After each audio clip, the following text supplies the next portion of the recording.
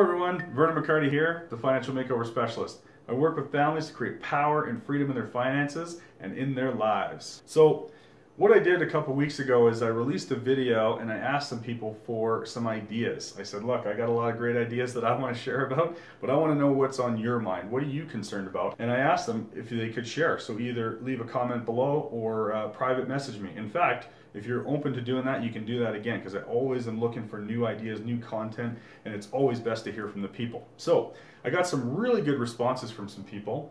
And uh, I had a, a, friend of mine who, who asked me something really intense. It was a loaded question, and it was something to the tune of, how do you, I want to know about behavioral issues and how people deal with their spending and, and what is it that has them go and, and make purchases, you know, and then get on that cycle of, you know, spend the money and then kind of regret it later and then try to pay it off on your credit card or whatever your strategy is.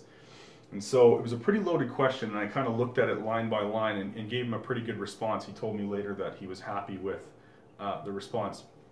But I'm just going to talk to you a little bit right now about some of the things that I see that go on out there when it comes to spending. Now, look, we all like to spend money. We all like to get in North America. We all like stuff, right? We're in the we're in the marketing machine, guys. We're in the eye of the beast, as they is that what they call it? The eye of the storm, the eye of the beast or the belly of the beast. That's the one. We're in the belly of the beast when it comes to the marketing machine. I like to call it psychological warfare.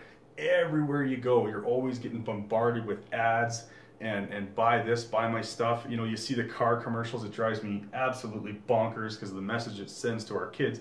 See the car commercial. The guy pulls up. He's got a decent looking car. His his you know girlfriend or whatever it is is waiting there for him, and all of a sudden she's peeking over the roof of his car and looking at the guy across the street with the better car. And he's going, oh, I feel pretty insignificant. Then he looks over and realizes, oh, there's a guy over there with a better car. Clearly, he's a better fit. I mean, it's ridiculous the message that that sends. And what's that telling our young people? Hey, go out and buy the faster car. Go out and buy the bigger house. Go out and get the boat. Go out and go, you know, post all your pictures of your vacations on Facebook so everyone thinks that you're a somebody.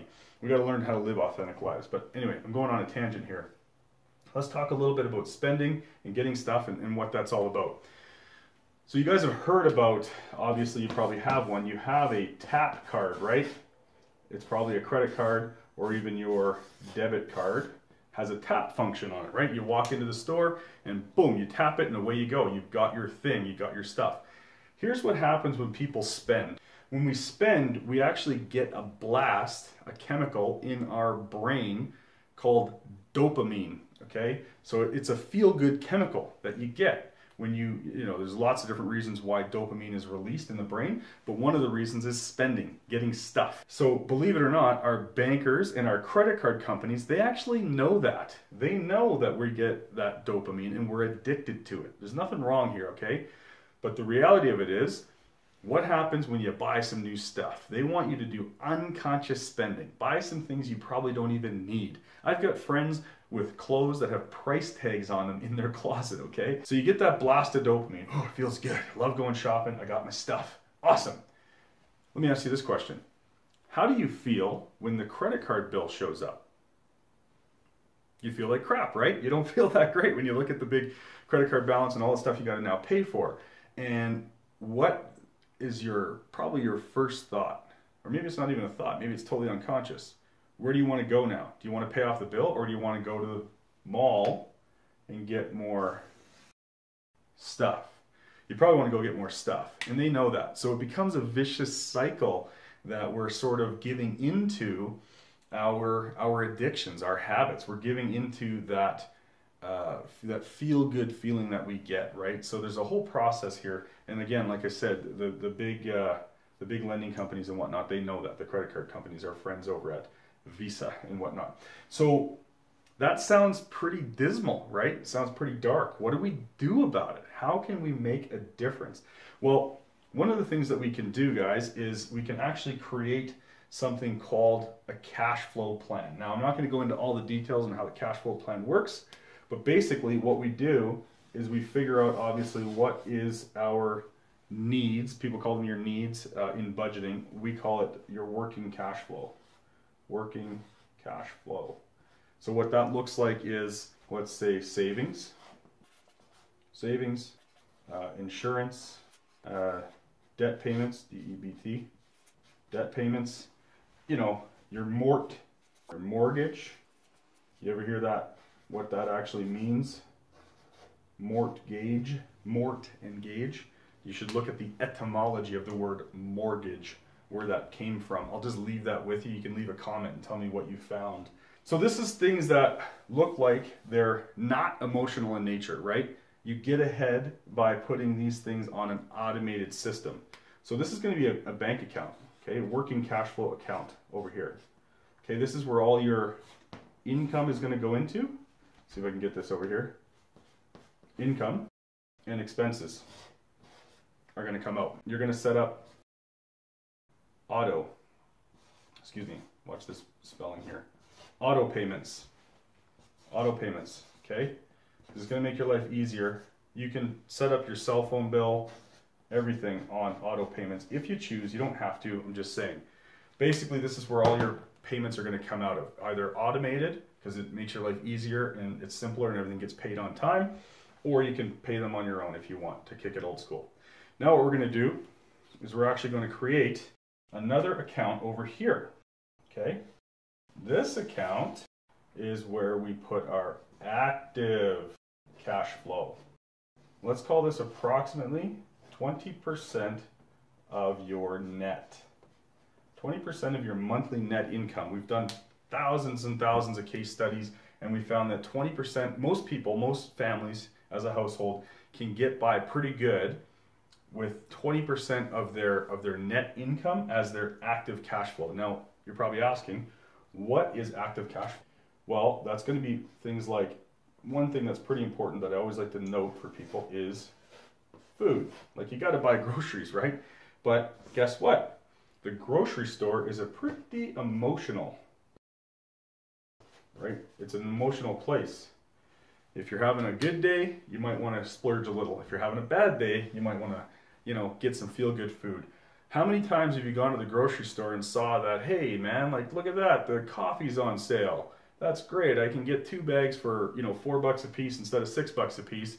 Is it really serving? I'm saving. You know, but people justify by saying, "Oh, I'm saving money." Are you really saving money, or are you just getting more stuff that you don't really need, and and you're actually spending more money? So that's you know that's kind of how they want to get you. They want to get you emotionally involved in the process, and that's how we end up overspending. Everybody overspends, or most people overspend in the same areas.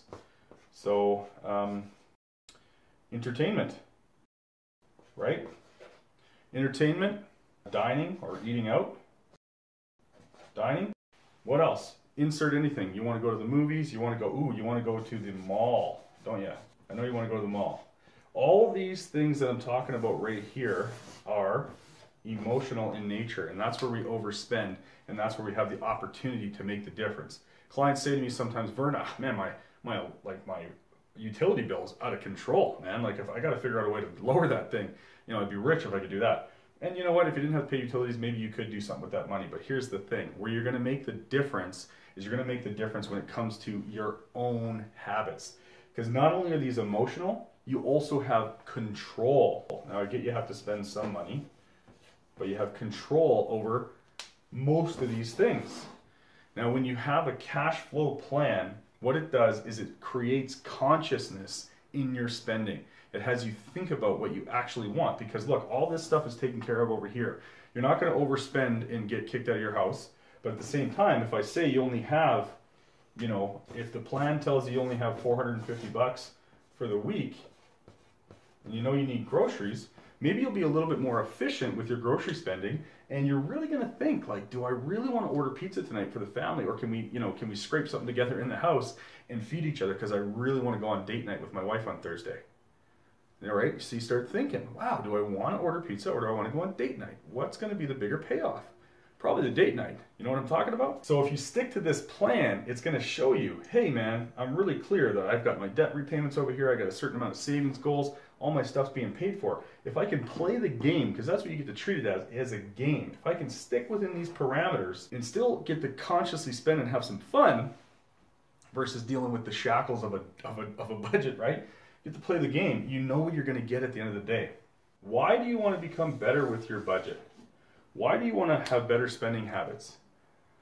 What's your What's your dream? Okay, I don't want to sound too airy fairy, but I like that kind of stuff myself. What's your dream?